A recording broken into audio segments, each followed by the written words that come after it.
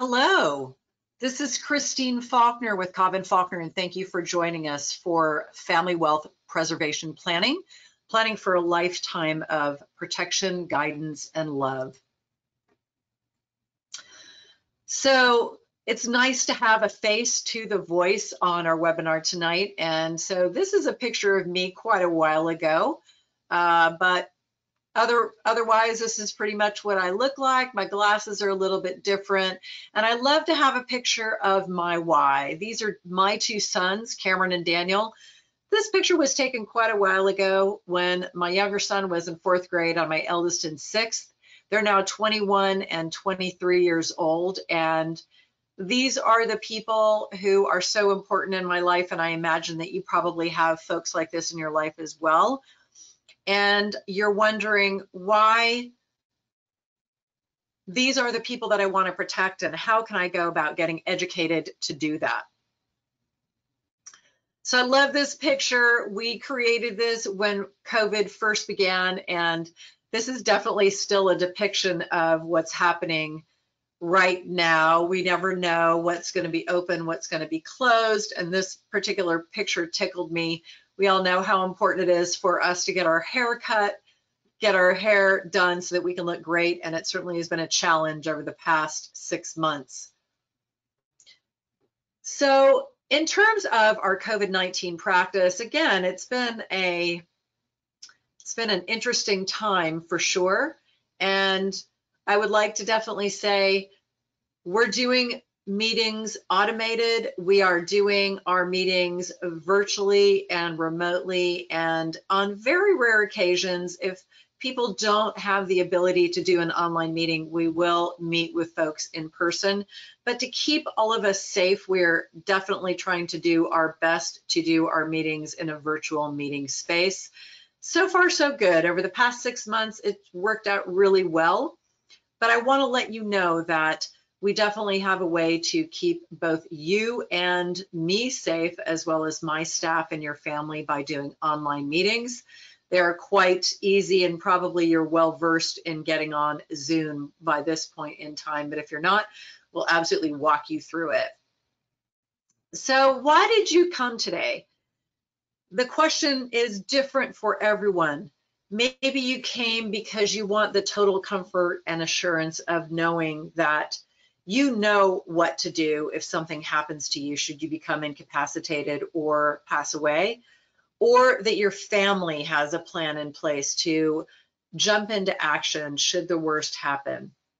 Maybe you came because you want to know exactly what's going to happen to my assets if something happens to me.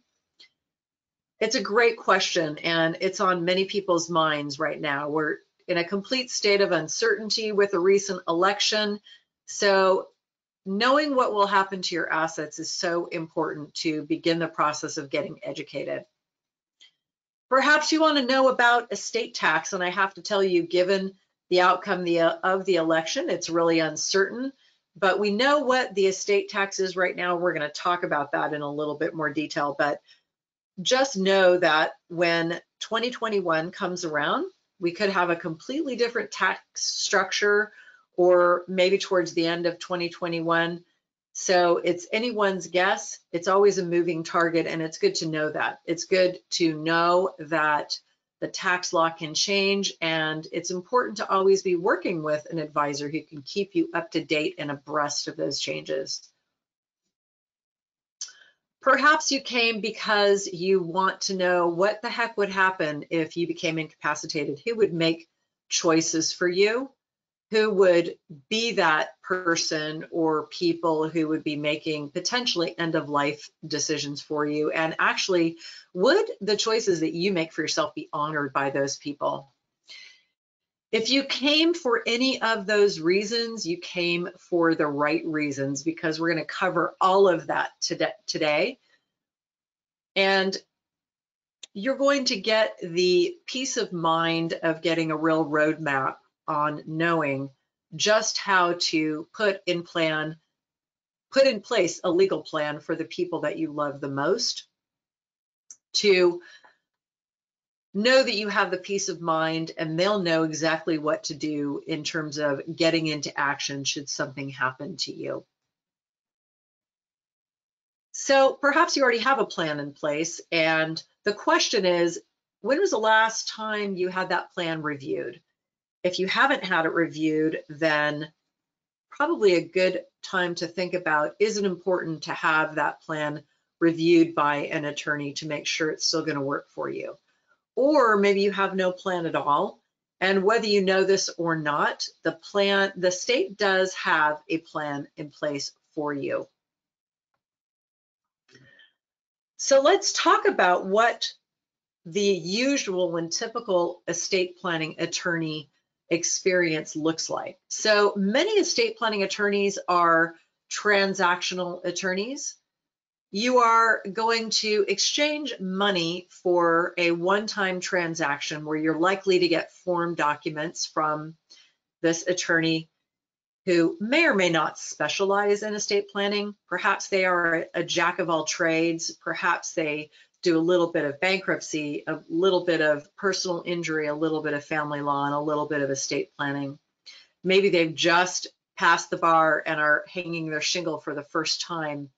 And you may work with someone who doesn't have a lot of experience, or perhaps you won't get a lot of time with the actual attorney themselves, but may end up working with a paralegal who is the one who is actually preparing these documents.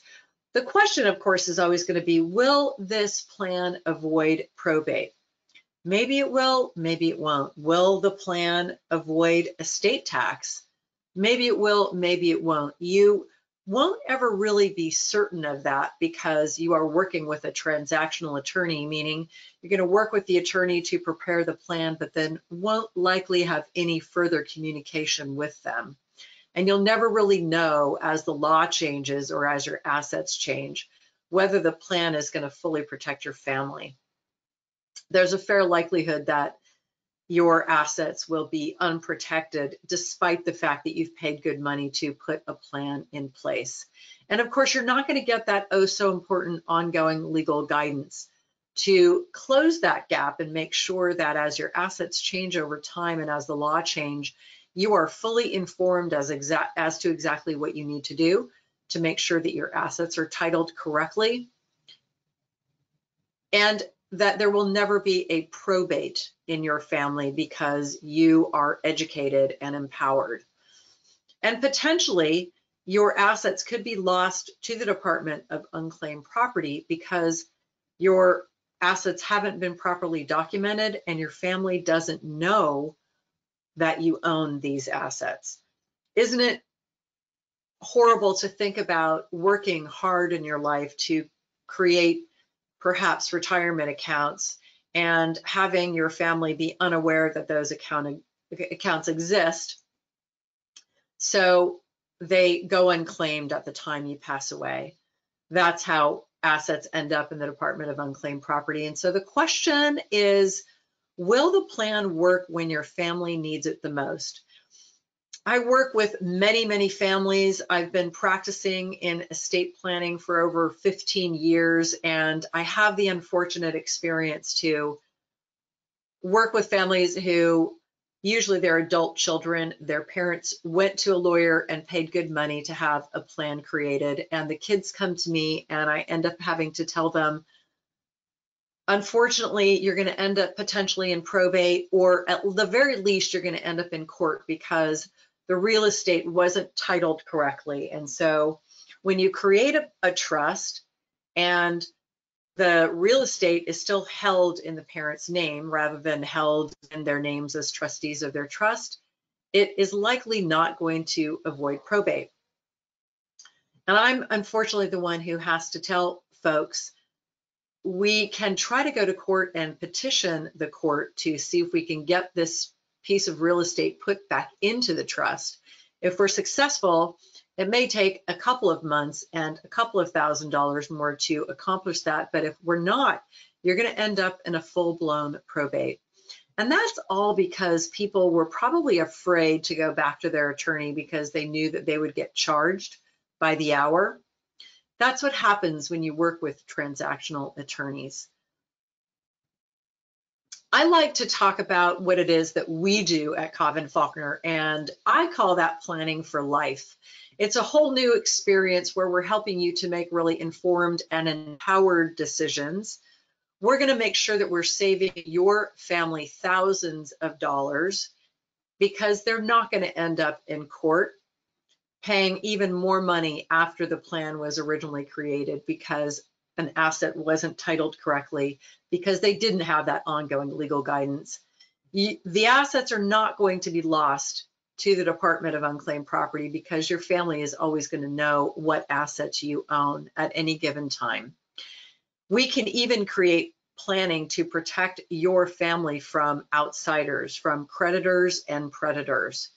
And of course, working with Cava and Faulkner, you're going to receive a lifetime of right legal guidance and to help you make the very best financial choices.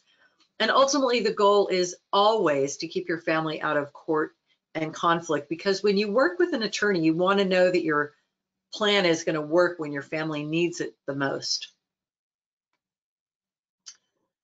So if you don't have a plan, the state, believe it or not, has an estate plan already created for you. If you become incapacitated and you have no planning in place, that, that plan with the state is called conservatorship. In other words, going to court where a judge is going to decide who is going to be the guardian of you. Because you are a legal adult, a guardian has to be appointed. So potentially a judge could appoint someone to be the guardian of your person, and that guardian would be someone who would make decisions about your medical care, about how and where you live. And that might not be the person or people that you would want to be making those decisions for you. Those people might not honor the decisions you would want made for your body and the healthcare decisions that you would want made. If you pass away and you have no plan in place, then potentially you could end up in a court process called probate. And that process happens because you have certain kinds of assets that are worth more than $166,000. And so if you do fall into that category, you do have titled assets that are worth more than $166,000, such as a piece of real estate. And I like to tell people anyone who lives in California who owns a home is likely going to go through probate because that asset is definitely worth more than $166,000. So you'll, your, your family and the asset will end up in a court process called probate. And so you can see from looking at this slide, probate is a slow process. We have like this pipe and the pipeline in probate is slow. You're looking at having to pay attorney's fees, executor's fees, appraiser's fees, bond premiums, creditors' fees, filing fees, and the process is so much slower than if you had put a plan in place. And so we like to call probate a lawsuit that you file against yourself with your own money for the benefit of your creditors. I also tell people that probate is only for people who don't plan. It's not an automatic, but if you choose not to create a plan and be proactive about putting a plan in place that is going to protect your loved ones and your assets, probate is likely where you'll end up being. So this is the last will of Jackie Kennedy Onassis. And the thing that's interesting about looking at this slide is the fact that there's a lot of detail here. There's a tremendous amount of detail that you can look at and you can see exactly what Jackie O left and to whom she left it to. And the point here is that even if you have a will, it is public, so people can actually read what it is that you have left to whom and when they're going to get it and how much. So many of my clients really value their privacy. They want to avoid having this sort of experience where people can delve into the nitty gritty of what it is that they wish to leave. And they'd rather preserve their privacy in a robust estate plan. The other thing about having a will is that having a will alone does not avoid probate if you own real estate in California. So in other words, you'll still end up going through that court process called probate, even if you have a will. So think about how do you value your privacy?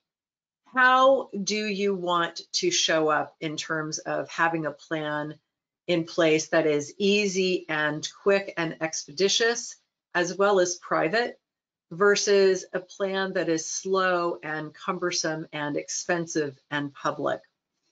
So make a note to yourself that even if you have a will, you will likely still end up in probate if you have an asset that is titled that is worth more than $160,000.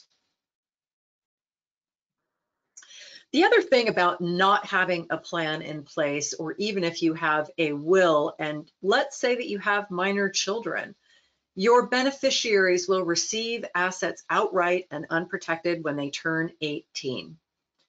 So I know when I created my estate plan, it was something that I was very concerned about with respect to my own children who were quite young at the time, probably eight and 10. I wanted to make sure that my children did not receive assets when they turned 18 because we all know and we probably know people who have received assets when they were quite young and how it has the tendency to impact a person's, a young person's uh, maturation.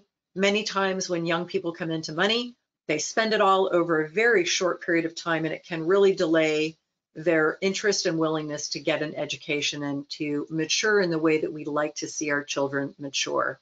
So when you don't have a plan in place, you absolutely have no control over when your children receive your assets. They will receive everything outright according to the law when they become adults. So if you want to make sure that this doesn't happen to your children or your beneficiaries, think about the importance of putting a plan in place where you can decide when your children will receive the assets when the time is right according to your best judgment, not theirs, uh, not when the law says they have become a legal adult at 18. Even if you have a will, your children could be at risk. So if you have minor children, have you named guardians for your children, both short and long term? Many people don't think about this, and it's one of those responsibilities that we as parents really need to pay attention to in creating an estate plan. And that is if something happens to us, if we become incapacitated, should we develop dementia or have a stroke and be incapacitated for a period of time, it's so important that we have named short-term guardians for our children.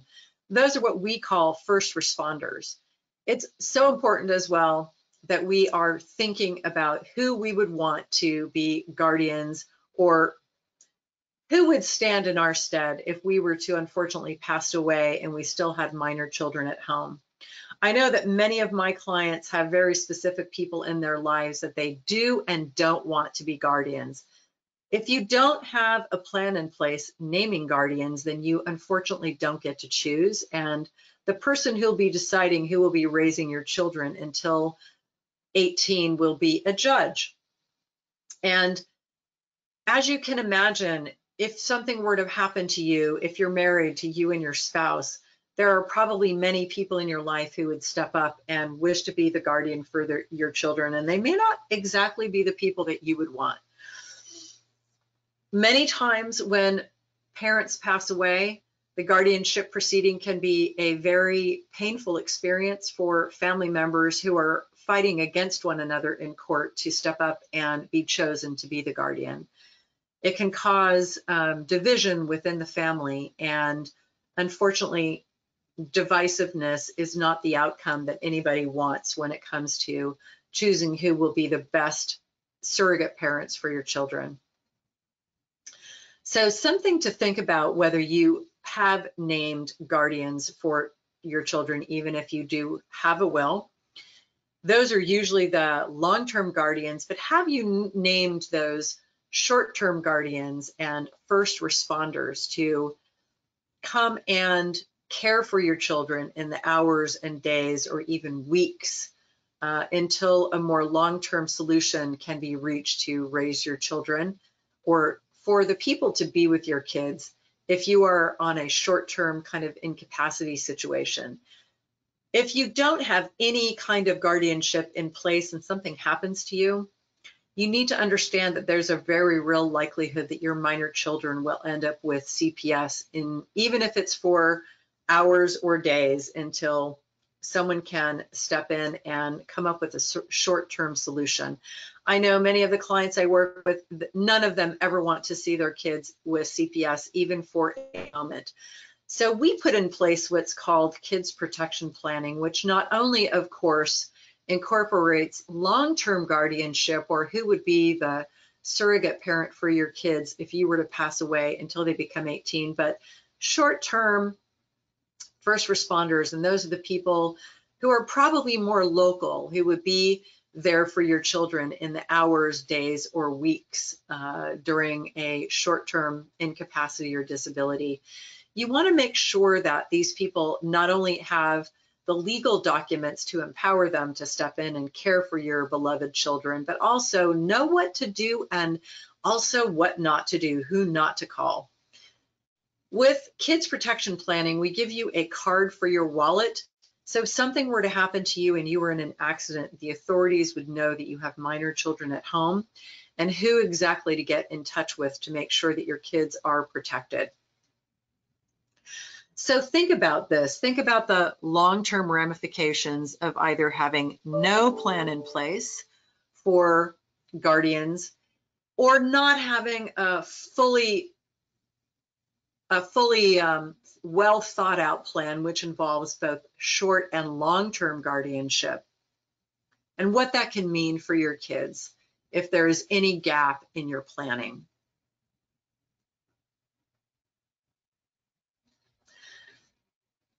So I don't know if you know who this person is.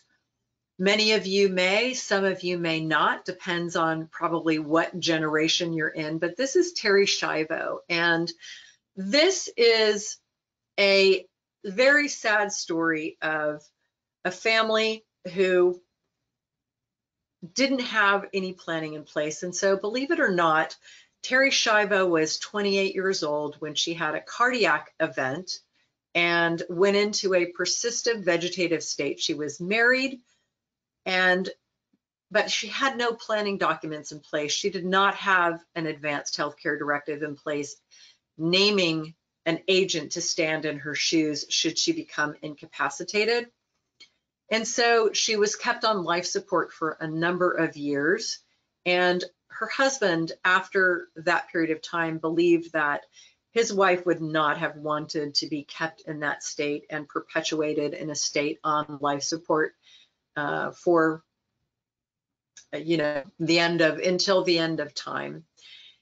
His parents, however, understandably wished to keep her on life support with holding out hope that she would eventually regain consciousness and be able to live a normal, productive life. And so without that so important legal document, the Advanced Healthcare Directive, a court battle ensued between her husband and her parents at opposite, opposite ends of a litigation table. Very painful. It was a years long litigation that went up and down the state of, uh, I believe it was Florida. And you can see the sign asking the governor to step in and take action of it went up and down the courts of appeal and up to the highest court in the state. Thousands of dollars were spent on this litigation and found this family was really torn apart. Eventually, her husband was given the right to make the decision and he was able to take his wife off of life support, which is what he believed she would have wanted. Of course, maybe they had a conversation about it, but her her wishes were not properly documented in the right legal documents to make it very clear as to exactly what she wanted. Had she done so ahead of time, it would have saved a lot of heartache, hundreds of thousands of dollars, and things could have happened quickly and privately as opposed to playing out in public as it did. So think about what you want for yourself. Do you want to choose the people who make healthcare decisions for you? Do you want to know that you can trust those people to carry out the wishes that you want for your bodily autonomy? And when it comes to end of life decisions, that you know those people will make the decisions that are congruent with your own wishes to either pull the plug if that is the decision that you wish or to keep you on life support. But obviously, this is all about exerting control over your future if you become incapacitated.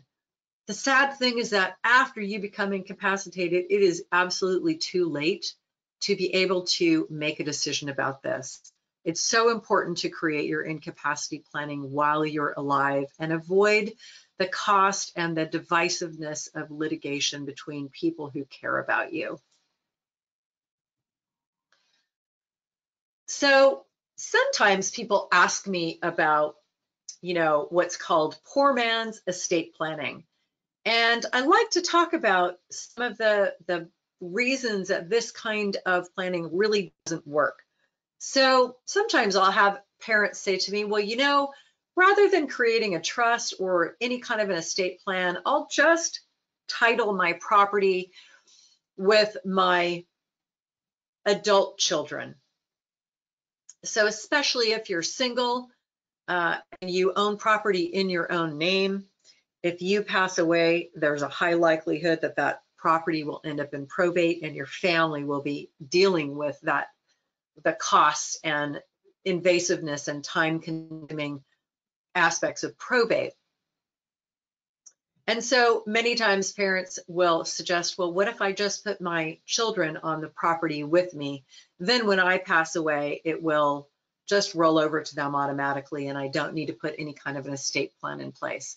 The problem with that is that when you hold title jointly, you take on the risk of the creditors of your joint owners. So whether you are married or single, if you have jointly owned property and your co-owner has some type of creditor issue, they end up in bankruptcy, they're in a lawsuit because of some negligence, or they have some business um, matters for which they're being sue, sued and their personal property is up for grabs. If you are a joint owner, that means your property is up for grabs in that litigation or bankruptcy as well, and you could lose it. So a really good reason not to put adult children onto your property is because you're buying into uh, potentially exposing your property to their creditors.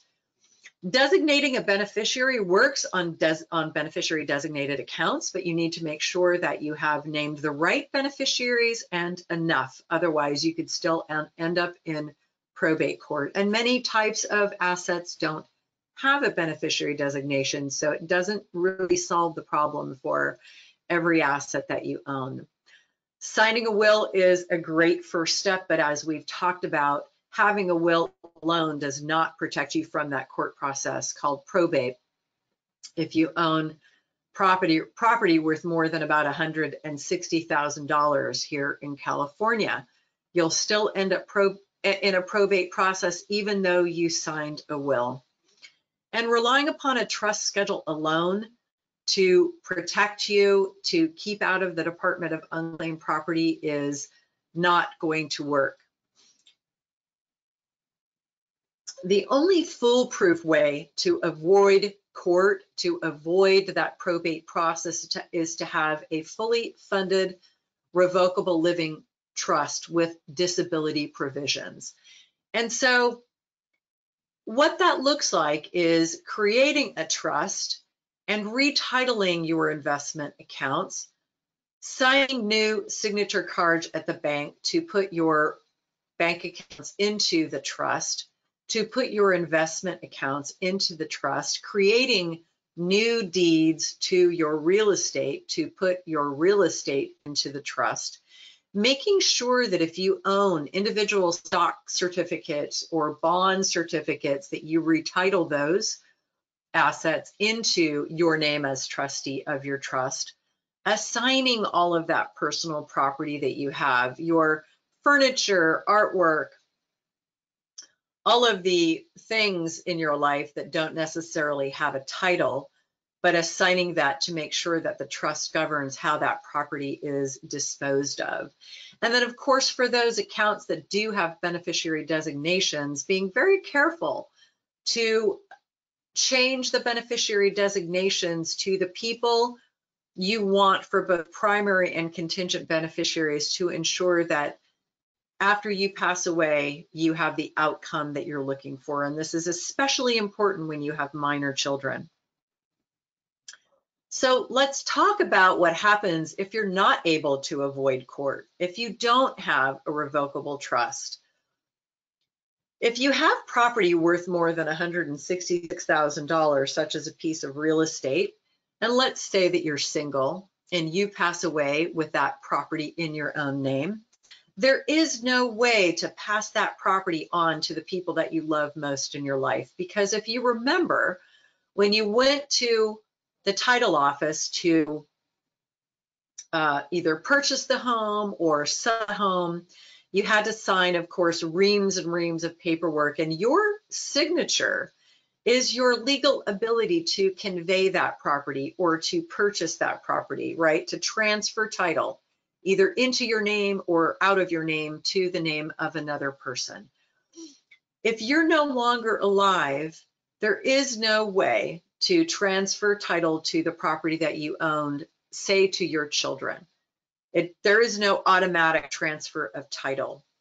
And so if the property ends up in court, and let's say on average, I think where I'm from in Northern California, the median home price right now, fair market value is about probably $450,000. If that $450,000 home ended up going through probate, it would cost about, let's see, it's about 5% of the, the fair market value of the asset. So you're looking at about $22,000, $22,500 just for that one asset to go through the probate court. Now, on average, people have many more assets that would end up in probate. And so if you think about the usual types of assets that people have, they've maybe got a $450,000 home, they've got bank accounts and investment accounts that are worth a couple hundred thousand dollars and retirement accounts. Many of those accounts, especially retirements account accounts have beneficiary designations. Depends on who you've named as beneficiaries, but if you have minor beneficiaries, you can count on those accounts going through probate as well. So let's assume the average asset value going through probate is somewhere between 800,000 and a million dollars.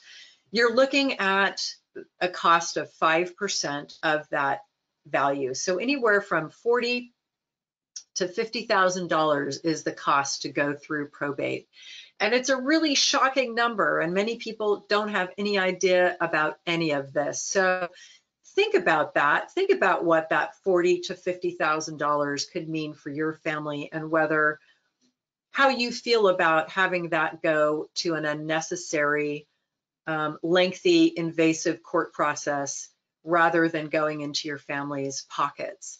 And for us, that meant maybe a year of college for our sons. And so that was a really important uh, thing for us to do for our family. And I know that for many people, forty to fifty thousand dollars is a huge amount of money to lose in an unnecessary court process. the great thing is that you don't have to be exposed in that way. You don't ever have to go through probate, but it does require you making an affirmative decision that you want to avoid court. You want to avoid that heartache and the considerable costs going through pr probate. And instead, being proactive, getting financially organized, and deciding that you want to work with an attorney who can create a really robust plan to make sure that your family will never have to go through pro through probate because let's face it it's not going to be you who goes through probate it's going to be your family who feels the the pain of the time investment and the the monetary investment of getting pro going through that probate process just so that you can get the assets that you want them to have. There's definitely an easier way, and that is working with an estate planning attorney who is well versed in creating this kind of planning for people so that you'll you, you can rest assured that your plant your family will never end up in probate court. So one of the other great things that I've talked to people about for a long time and I've found especially this year in 2020 people have really shown a great deal of interest in making sure that they can create a plan that leaves assets for their spouse if they're married and also or for their children in an asset protection trust so that if something happens to the spouse or to the children that the assets that you have behind for them can be protected from their creditors. It sounds like a pretty cool idea and like I said, this year especially, I've had many, many clients who have decided they want to create asset protection for the surviving spouse because they want to make sure if some catastrophe happens, the spouse has a nest egg to rely upon that couldn't be taken in a bankruptcy. And the same thing is true of their kids. How cool would it be if you could create a plan that ensured that the assets you leave for your children cannot be taken by your children's creditors. It, it's what's called dynasty trust planning. And it is a very nifty way to ensure that if your children marry and end up in a nasty divorce, the assets that you've worked so hard for will stay with your children instead of being lost in that divorce proceeding because your children have commingled those assets with their spouse or if a child would had to file bankruptcy because you have created this dynasty trust planning for them those assets will always be protected from a, a bank, bankruptcy proceeding and your children will have that nest egg to live on even if they lose much of what they've worked hard for because of a bankruptcy. So there's so many reasons and unforeseen things that can happen in people's lives that uh, bring on a creditor or a lawsuit.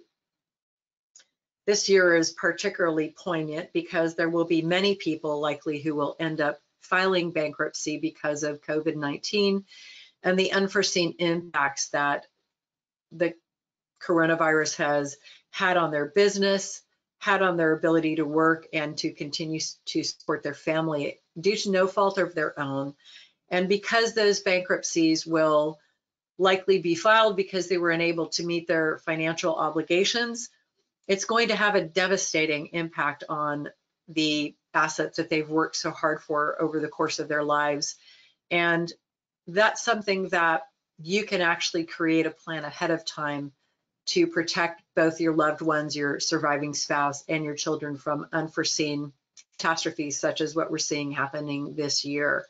So think about that and whether you find any value in that in working with an estate planning attorney to create that kind of plan. So what about estate taxes? Right now, we have a really, really large estate tax exemption, which is a gift from our government. So right now, the exemption for all of us, each person is $11.58 million per person. So for a married couple, we're talking over $23 million in exemption. So what does that mean? That means that Unless you have over $23 million and you're married, you'll likely never have to pay an estate tax, which is great news. But if you have to happen to be lucky enough to be in that tax bracket and you're single and you've got worth uh, you know assets worth more than 11 and a half million dollars or you're married and you have assets worth more than 23 million dollars then there's a whopping tax that will have to be paid which is the highest tax that exists and that is for transfer taxes and that is gifts gift and estate taxes. It's 40% so whatever amount you have over the estate tax exemption is you'll will pay back to the federal government at 40 cents on the dollar.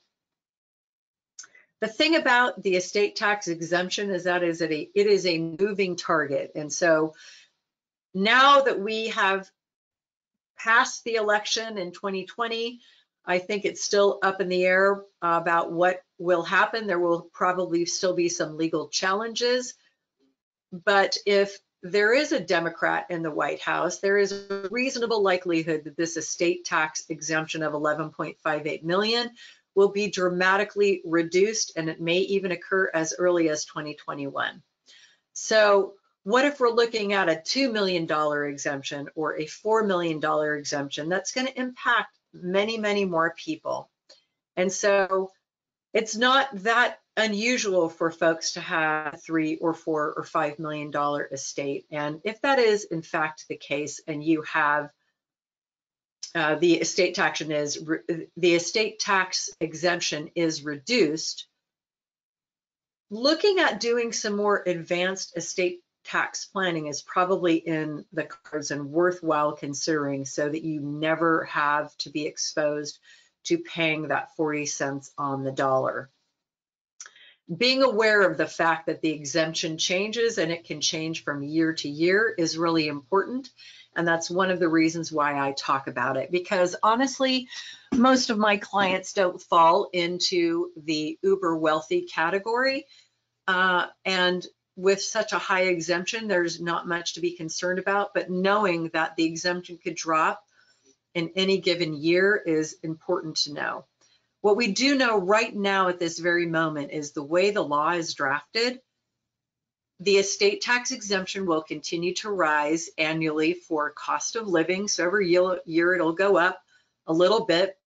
And if there is no change in the law in 2025, well, really the end of 2025, January 1st, 2026, it will revert back to the 2018 uh, exemption, which was $5.48 million per person. So still quite a generous exemption, but not, you know, it's about half of what we have now. And that can impact people adversely. So understanding that the law can change at any time is really important and thinking about where you stand if you don't have any kind of planning in place with respect to this exemption is important. Right now, I'm not sure of the exact value of what is in the California Department of Unclaimed Property, but when I last looked, it was over $9 billion and $9 billion. And that is because people acquire assets and then they lose track of them. Most people are busy living their lives and they are not keeping close tabs on every asset they own. Perhaps they move employers or the employer goes out of business and they lose track of that asset. As a result, there is $9 billion plus in the Department of Unclaimed Property. And what does that mean to each of us? It means money that we've worked hard for, accounts that we've worked hard to acquire are languishing and may never be claimed. And the point here is the importance of having a way to catalog all of your assets so that if something does happen to you, your family knows exactly what you own and that they can claim every penny of what you left for them. Because truly, isn't that what we all strive for? We work hard, we create accounts, we save, we invest, and we want to make sure that when the time comes, there's not a penny on the table that isn't benefiting the people that we love most in our, lives or isn't being used to support a charity that we that we do support and would love to to um, you know uh, support with our through our estate plan rather than sitting in the Department of Unclaimed Property. Working with an attorney that's going to help you get financially organized and put your assets together in such a way that your family will always know where to find it, I think is something you should consider. Whether how it feels to you thinking that some of your property could be and maybe already in the Department of Unclaimed Property and just what you can do about that to proactively plan in the future to claim anything that's already there and prevent even more of your assets ending up in the Department of Unclaimed Property and what that would mean to your family in the long run. have you ever thought about the real legacy that you leave? So think about not just this estate planning planning binder that you would put together with all of the documents, but really what is a legacy? And if you had to choose between the people you love in your life receiving just your money or being able to leave a story of your values, insights, experiences and thoughts on philanthropy, religion, education, which of those would you choose? One of the things that I do at my firm that is so important because I believe that estate planning and having a plan in place is about more than just money, but it is about the thoughtfulness that you put into your plan and the legacy that you do leave for the people who come after you. We do what is called a family legacy conversation, which is a recorded conversation where we get to sit down and you have an opportunity to talk about the people you love in your life, the people who were part of your life and so important to you, how you were raised, what your parents taught you, what lessons are so important, and your values that you want to pass on to your kids and your grandkids it's a wonderful opportunity to be able to put that in a recording. And now that we're meeting online, we can actually do both a, vid a video and an audio. We used to just do it, do an audio recording, but we can actually do a video recording now. How cool is that for you to be able to have this recording of you talking to the people who you love most in your life and how do you think that they would love to have that from you? So even if you're no longer here, they get to see you perhaps, or at the very least, listen to you talking about how important those people were to you and what it is that made your family what they are and those important people that you would like them to continue to stay in contact with.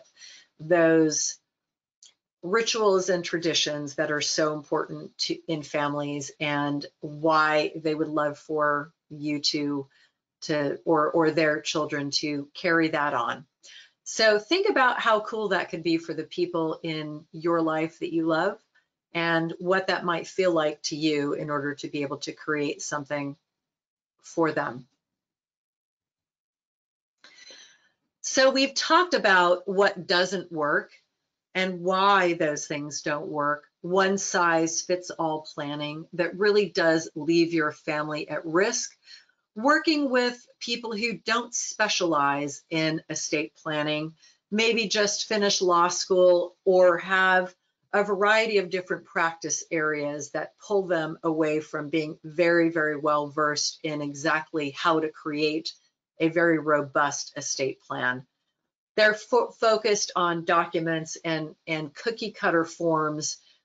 Perhaps you don't even work with the lawyer much. You end up working with a paralegal or a secretary that's doing most of the work.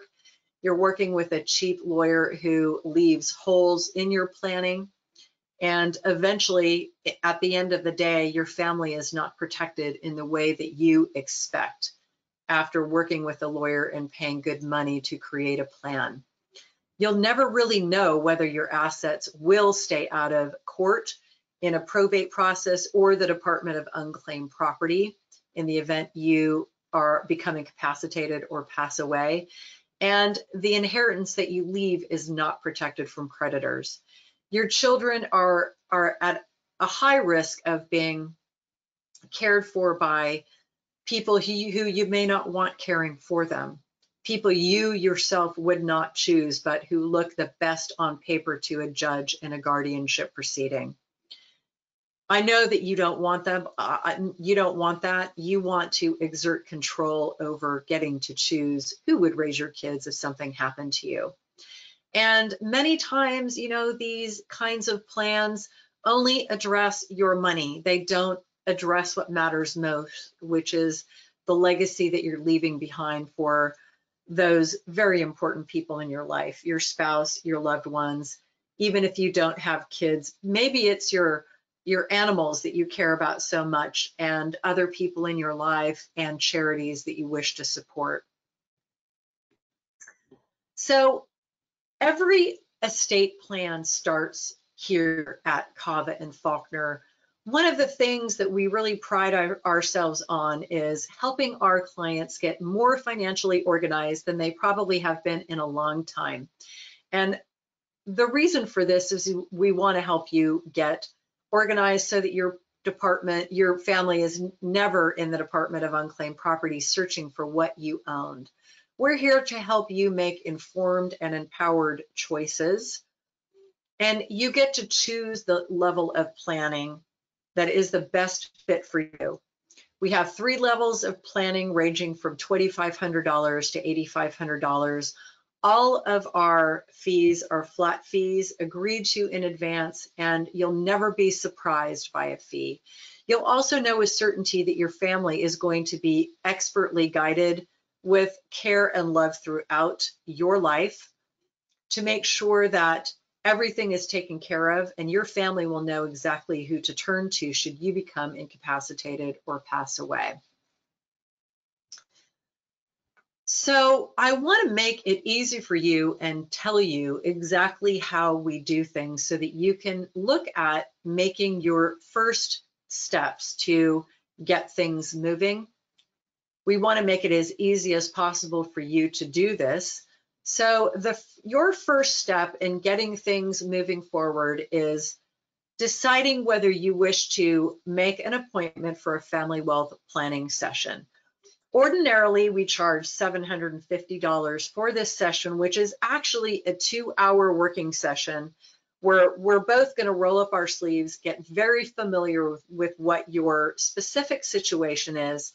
You're going to be more financially organized than you've probably been in a long time. And you're going to get to spend two hours with me, not my paralegal, not my secretary, but actually with me. Now, many attorneys will give you a 15 minute or half hour consultation and make you feel that they're giving you a huge amount of their time.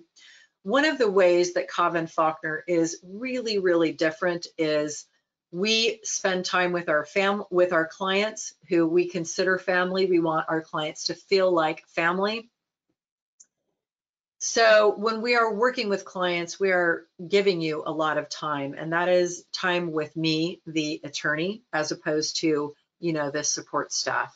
And I think that's really important to say because I want you to think about when looking and searching for legal services, you, you have a choice of the kind of attorney you, work with just like anything else in life, we can go online and, and do some research about the kind of lawyer we want to work with. And I want to tell you a little bit about how we are different.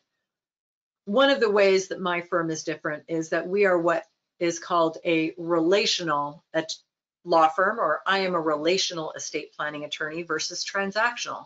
What does that mean? That means that you're going to get me. You're not going to get my paralegal or my legal assistant, number one. You're going to get to work directly with me, and I'm not going to pass you on to someone else. I do have other professionals who help support us in this process, but for the most part, you're going to be working with me. We want to give you a lot of time to get to know you and understand your specific needs so that we can really create a custom plan that is robust, that will last for not only your lifetime, but the lifetime of your spouse if you're married, and potentially through the lifetime of your children. So this is a long lasting plan and you can understand the importance of really getting to know what your financial situation is and what your family dynamics are to create the kind of plan that is a custom plan that meets your needs ideally. It is not a plan that we create for the next guy who walks in the door. It is a custom plan just for you. So we are in a two hour working session called that family wealth planning session. And we value that at $750. If you already have a plan in place and haven't had it reviewed in a while, you might want to consider doing a estate plan review. We ordinarily charge $950 for that kind of planning, but here's what I'm happy to offer you. If you need to come in and you're ready to get that family wealth planning session booked, or you want to book that estate plan checkup, I'm happy to waive that fee, the $750 fee or the $950 fee as long as you're willing to do a couple things. We want to work with people who are committed, who are serious about rolling up their sleeves and having a close look at what they need. And so we have a pretty detailed homework, we call it. It's called a family resource map, but we call it homework. And as long as you're willing to commit to completing that homework and getting it back to us, before the family wealth planning session or before the estate plan checkup and review, we are happy to waive that $750 fee or the $950 fee. The other commitment that we ask our prospective clients to make is the willingness to secure the appointment with a credit card. And we that is so important for us because we find that when we don't secure the appointment with a credit card and people think that they're getting something for free. It, we have people who just don't show up for the appointment. And because this is how I make a living and I am putting that two hours aside, especially for you, we want to know that you are serious. We will never charge your card. If you need to cancel the appointment, you are absolutely welcome to do that, but we encourage you to keep the appointment because we know that you need to get this planning done and you probably know it as well. But if you need to cancel the appointment, it's no problem. Please just give us a, as much advance note, notice as possible, a week or two. That way we have the ability to fill that slot when we have people who don't show up for their meeting the day of, it really um, leaves us in the lurch because we have no ability to get somebody else in that time slot. So we'd love to offer you some free resources.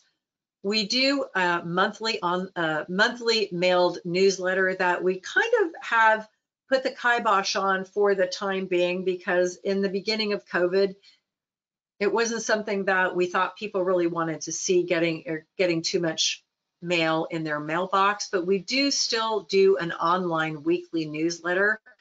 And we'd love to get that out to you if you're willing to give us your email and your contact information.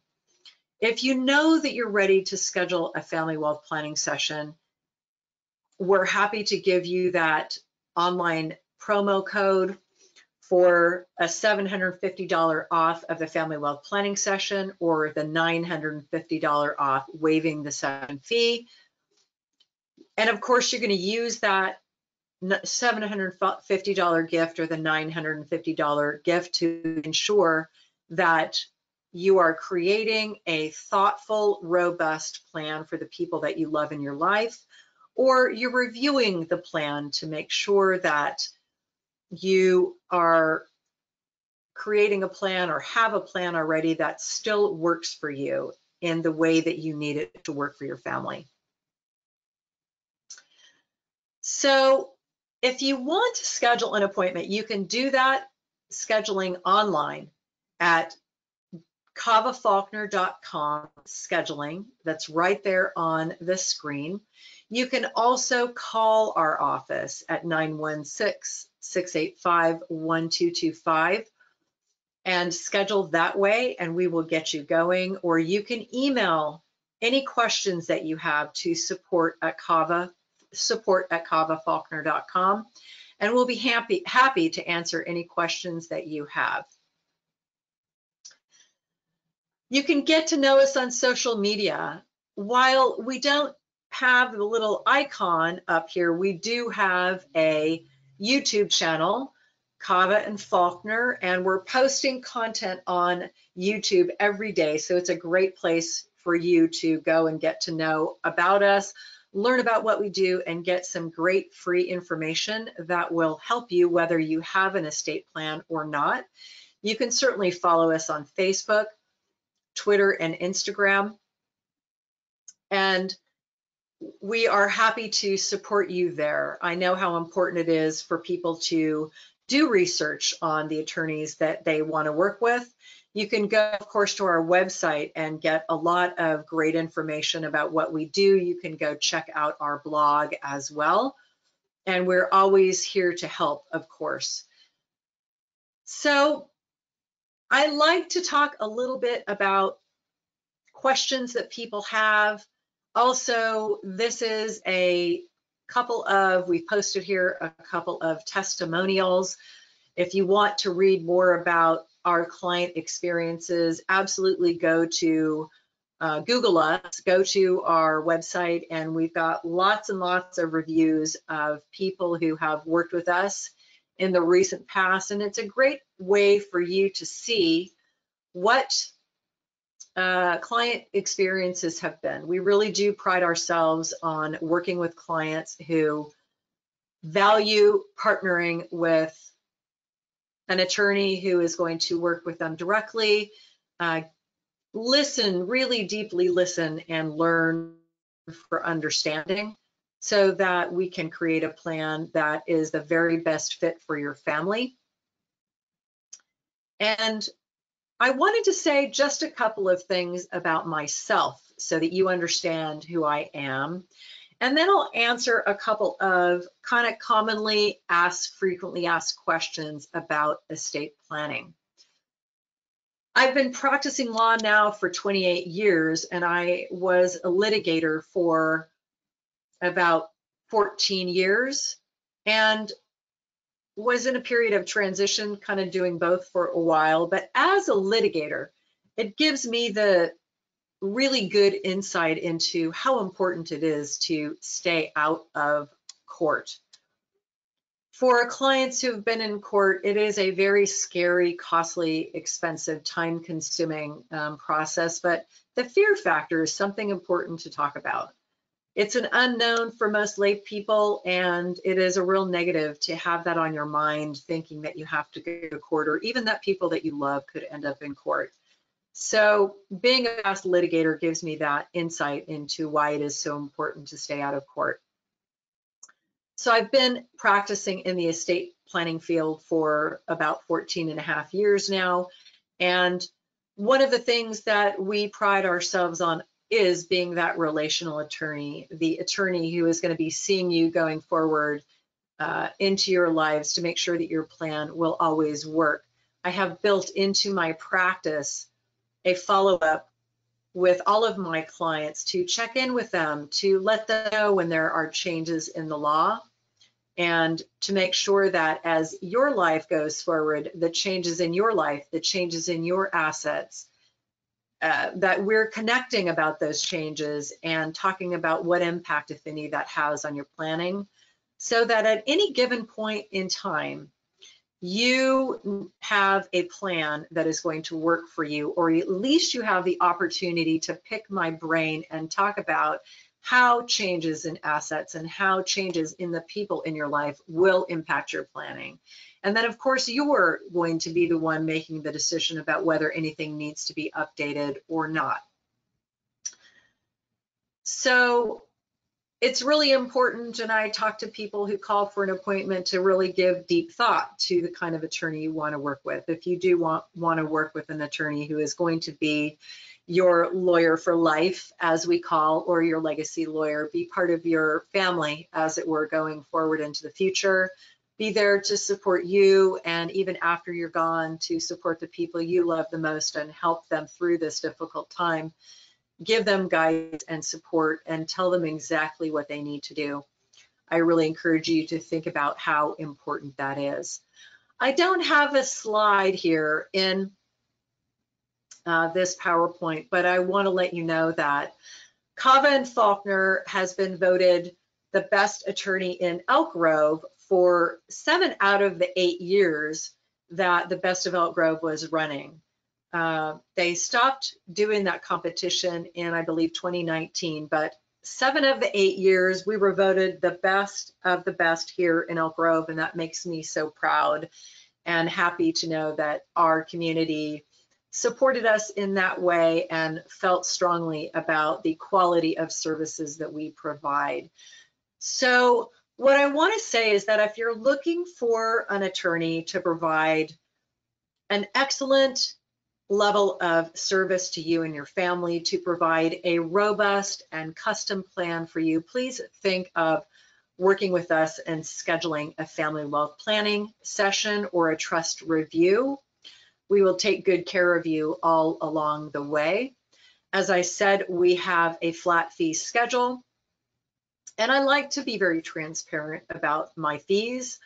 On average, to create a trust plan, you're looking at fees anywhere from $4,750 to $6,750. And recently, the average fee is probably around 5,000 to $5,500. And what I can say to you about that is that while there is always a cost to planning, whether you make no plan at all or you make a plan, there is always a cost. But clearly, creating a plan to the tune of $4,700 or perhaps $5,500 is far less expensive than ending up in probate court where you're looking at forty to fifty thousand dollars. And of course, the question becomes then if your assets end up in probate is who is going to pay for that probate costs? Will it be your beneficiaries? Will they have to dip into their own bank accounts to pay for that probate court process? And will they have the money? And what about the real cost in time and the emotional cost to your family to have to go through a process that lasts from anywhere from a year to a year and a half to transfer the assets? Or would it be better more cost effective and a loving gesture to spend the money, work with an estate planning attorney who specializes in creating custom planning to exert control over creating exactly the plan you want so that you leave a legacy for the people that you love the most. So that's all I wanted to say about how we do what we do. So let me tell you about some commonly asked questions. So of course, many times folks are wondering, well, you know, how am I going to pay for this? So I've always been very happy to work with people if they're not able to make the payments that we usually talk about, which is breaking, we break payments up into payments during planning, one third at the time you design your plan and two thirds when you sign your plan when it comes into existence. But if you're not in a position to do that, I've always wanted to see clients get a plan that they really need, even if it means spreading payments out over time. And I'm happy to do that. I'm always happy to talk to people about how we can make it work for everybody to make sure that our clients are getting the necessary plan to protect the people that they love in a way that it fits best for them. So I also have people ask, you know, if I'm single, what happens if something happens to me and I own real estate? So as I said earlier, if you own real estate and you have title in your name only, your assets will end up in probate and you'll end up in that, you know, 10 to 18 month process that your family will have to step up and end up in probate. They'll likely have to hire an attorney who handles probate. If you have no planning in place at all, you also don't get to choose who receives your assets. And so the state has decided that for you. The state indicates that if you have no spouse, that your parents will actually get your assets. And if you have no children, then and your and your parents have predeceased you, then your siblings, your brothers and sisters will get those assets. And then if you have no brothers and sisters, your aunts and uncles. So the thing about not having any plan in place at all is that it deprives you altogether of getting to decide who you would want to receive your assets. Almost everybody I work with has a very definitive idea of who they want their assets to go to, even if they're not married and even if they don't have children. And many times it's not to their parents and it's not to their siblings. So thinking about how important exerting control and getting to choose your beneficiary may be for you is an important reason to proactively plan. I like to tell people planning is all about um, Planning is all about exerting control in so many different ways. So if you want to decide who will receive your assets, make sure that you create a plan. If you want to decide how your children will receive your assets and when they receive the assets and whether they are asset protected is so important. You are deprived of that choice if you do no planning at all the cool thing, if you work with an attorney who is well versed in the ins and outs of this kind of cutting edge planning, you can actually create a, a real legacy for the people that you love to make sure that it's protected from unforeseen circumstances like bankruptcies due to COVID-19 or a car accident or some litigation that uh, or a bankruptcy um, it gives you the ability to protect that legacy that you've worked so hard for to leave behind for your family. So another common question is, you know, what happens if I don't have a will in place and I have minor children and I've left my life insurance to my children because I want them to receive that asset? Well, eventually what happens is, first of all, if you have beneficiary protected assets or beneficiary designated assets, leaving them to minor children is not what you want to do because they will end up in probate. Your minor children cannot receive life insurance money, and so that asset will, get pulled into probate. A guardian will be appointed for that asset. So a guardian will be appointed to manage that life insurance policy money until your child turns 18 they will probably be charging by the hour to do so to manage the money. And so it's so important that you not name your minor children, but actually a better way to do that is to name a trust. That way you're not naming your minor children, you're not naming some relative like your parents or your sibling to get the life insurance policy because when you do that, you are leaving the policy and while you may implicitly trust your parents or your sibling to use that life insurance money for your children, in reality, they have the legal right to use it however they choose. I always advise my clients to make sure you're leaving the money to the people that you want exactly in the right way and not take any chances with anyone being able to use the money different the best way to do that is to create a trust and to designate the trust as the beneficiary of the trust so that your children who are the beneficiaries of the trust as well will have access to the full life insurance money. It'll never get pulled into probate. You won't lose or have to pay money to have that asset uh, probated and have a chunk of change go out the door just to have that asset probated and wait for a year to a year and a half to get the money. So, so important that when you have minor children, you're being mindful of creating a plan to make sure that they are not getting the assets too young.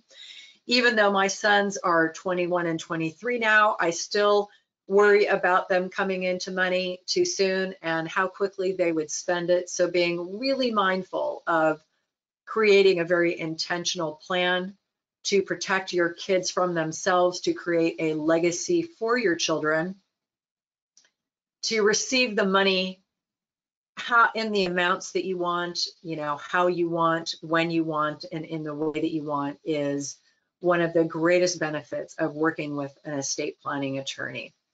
So I'd like to tell you thank you so much for attending.